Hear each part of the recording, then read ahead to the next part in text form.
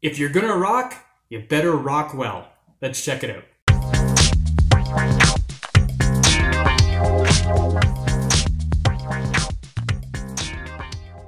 Hey everybody, welcome back to another episode of Shane's Craft Beer Review. Today we'll be taking on the Rockwell Pilsner. This is from the Collingwood Brewery out of Collingwood, Ontario. It is 4.6% alcohol by volume, 26 IBU, standard size can 473ml, $3.15. Rockwell Pilsner is a refreshing golden lager inspired by the legendary Pilsners of the Czech Republic. This beer has a delicate hop aroma complemented by a crisp, clean finish.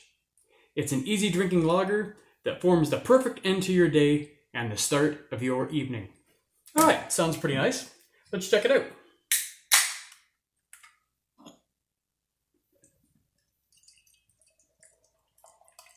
Yeah, fairly light. Looks like a Pilsner.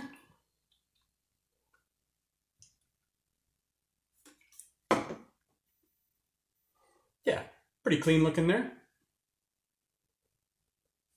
It's malt, sweetness, typical pil Pilsner smell. All right, let's give her a taste. Cheers.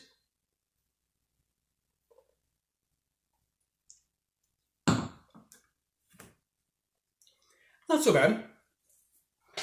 Um, yeah, typical typical pilsner. Got the malty, the sweetness in there.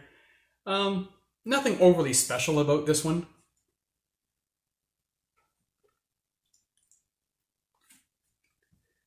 Bit of sweetness in there. Excuse me.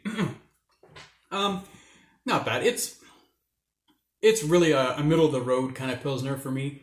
Um, so on a scale of one to five, we're going to give this a two point seven five. Um, yeah, it's it's not terrible. It's it's just average. I mean, if you're looking for a what is that three dollar and fifteen cent beer that you can just chug and get her down, this is the one you're looking for. Anyway, thanks so much for watching, guys. Always appreciate your time. See you next time.